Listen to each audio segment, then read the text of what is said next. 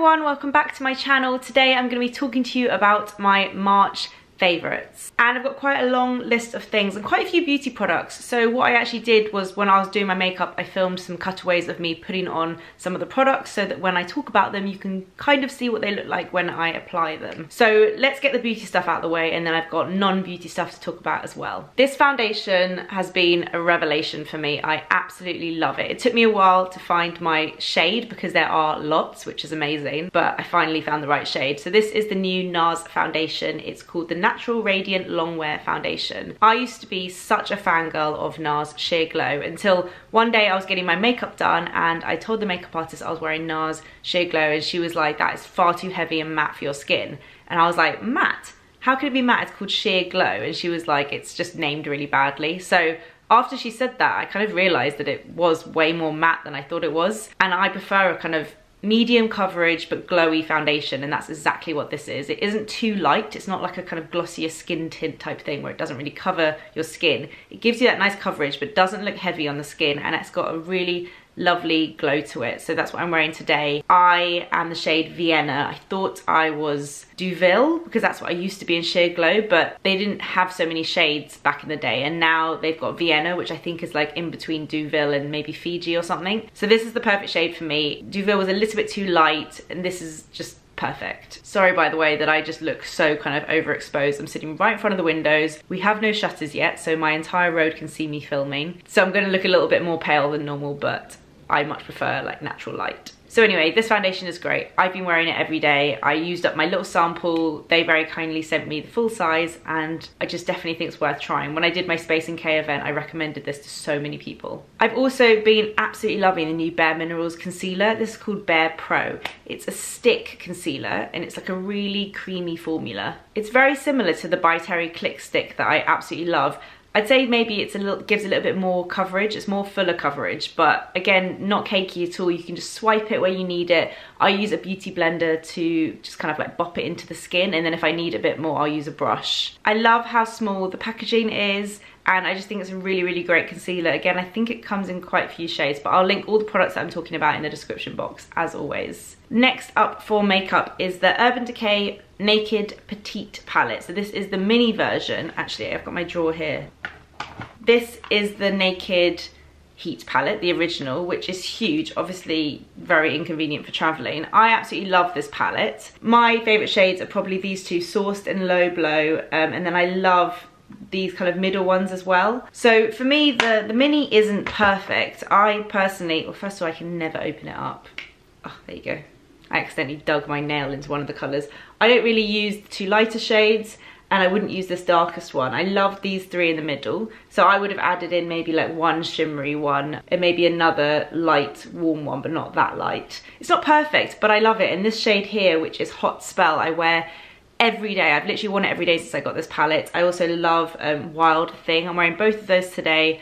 I love a warm eyeshadow. I just feel like I don't need palettes this big anymore, but this is perfect. I really like it. I don't think I've talked about this product yet, but this is the new um, brow shaping gel from Hourglass. They've brought out new brow gels and I'm never that like blown away by a brow gel. I love the one from Blink Brow Bar. My criteria is that it just doesn't leave white bits in my brows. I always go for a clear brow gel, so I guess I don't have to be as fussy as people who have less hairs on their brows and actually want something that gives them like thickness. But for me, I really like this one um, because the brush is really interesting. On one side, it's really small and flat, and on the other side, it's really long bristles. So I feel like on certain parts of the brows, you need like a little brush, and then on other parts, you really need to brush through the hairs. So I think that's really clever. I've never seen anything like that before. I love the little packaging again. It comes in four shades, I think, but I just use the clear one, and I think that's a really great brow gel. So if you haven't found one that you like yet, I'd say give this a go. I find that some like the Boy Brow and the Benefit one, the brushes are too tiny for me. Like if you have big eyebrows, you need an actual like spoolie brush so this is great if you saw my skincare video which i will link above i'm not even going to point because I point in the wrong place every time. But I will link it above if you haven't watched it yet. I'm loving all of the products I mentioned in that video, but I just thought I would highlight two of them. I won't go on for too long because I've already spoken about them, but the SkinCeuticals HA Intensifier. This is brilliant. It's such a gorgeous serum. It really helps boost the hyaluronic acid into your skin, and I've been loving it. I'm halfway through dreading the day that I finish this, but it's so good.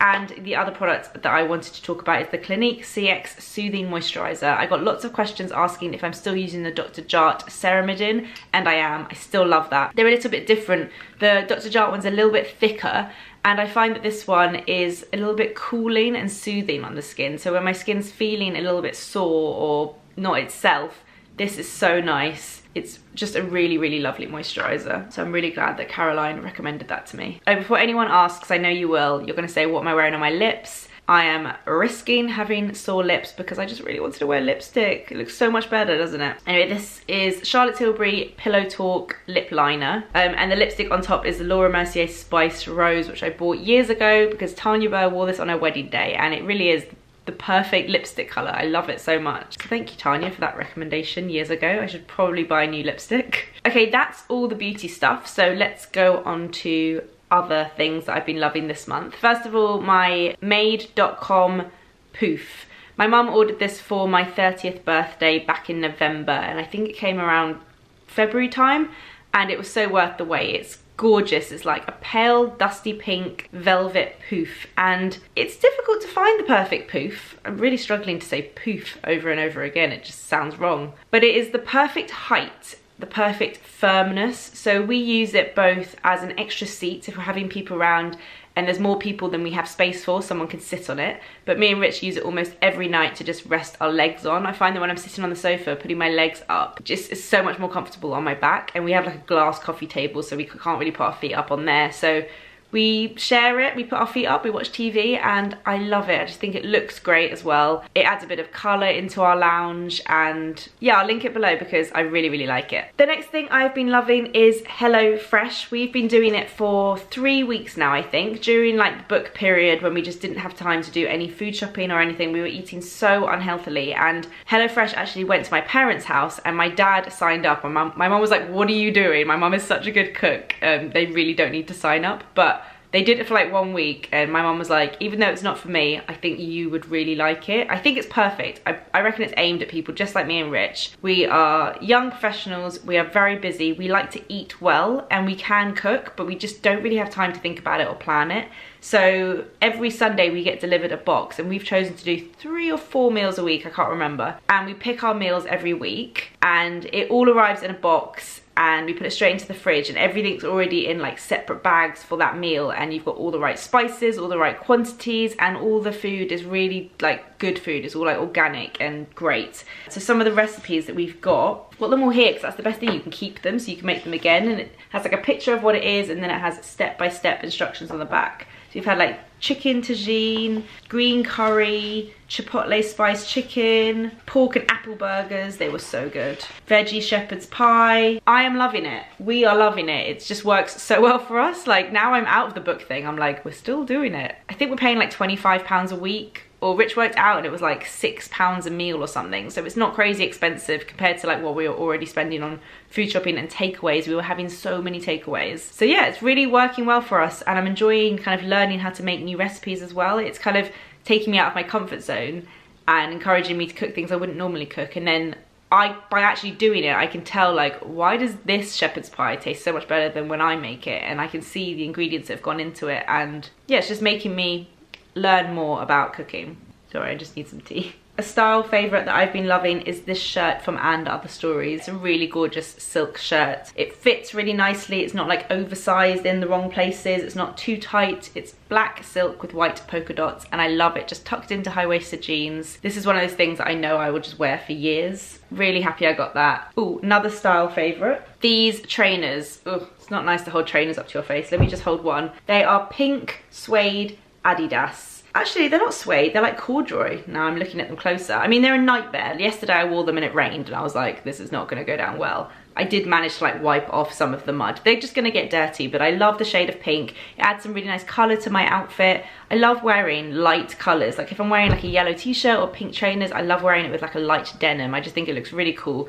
I don't love the contrast of wearing like black with pink trainers. But if I'm wearing like a light outfit with my camel coat. I think it, they look really cool and they're really comfortable. I will link them down below. I am just loving trainers as always. Okay, my final favorite is a TV show and I have a TV show every month to recommend to you guys. It's making me realize how much TV we watch, but we just do. Me and Rich watch TV every night pretty much without fail unless we're out. It's our way of relaxing and we just really enjoy getting into like new series and just seeing what's on TV. I'm one of those old fashioned people that literally just flicks through the normal TV channels and watches what's on. I'm loving One Born Every Minute, that is back. And I have another recommendation, but I'm gonna save it for next month. This month I want to recommend season three of Love. Obviously start from season one if you haven't, it's on Netflix. We loved season one and then season two, if I'm honest, we did kind of like stop watching it for a bit and like just, we weren't that into it. And then season three came out and we were like, oh my God, we never even finished season two. So we went back and watched it and season three is so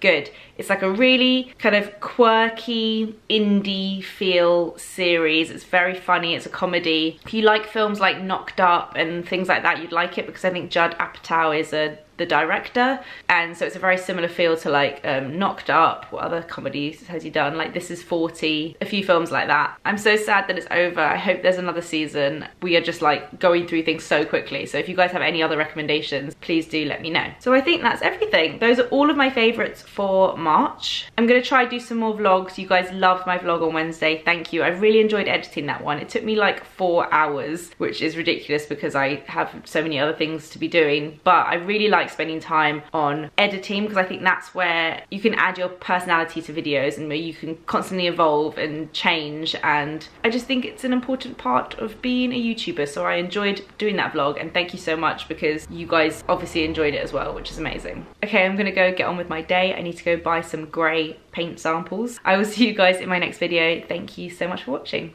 Bye.